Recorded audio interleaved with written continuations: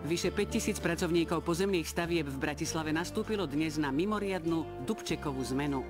Straty vzniknuté príchodom vojsk Varšavskej peťky presahujú 12 miliónov korún.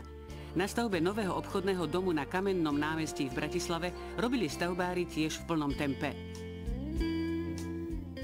Podobná situácia bola aj na ostatných stavbách, okrem iných aj na stavbe internátu v Mlínskej doline, ktorý tu stavajú pre 2200 študentov. V mimoriadných zmenách chcú pracovníci pozemných stavieb pokračovať ďalej. Podľa predbežného predpokladu za dnešnú zmenu vyprodukovali v stavebnej výrobe okolo 1,5 milióna korún.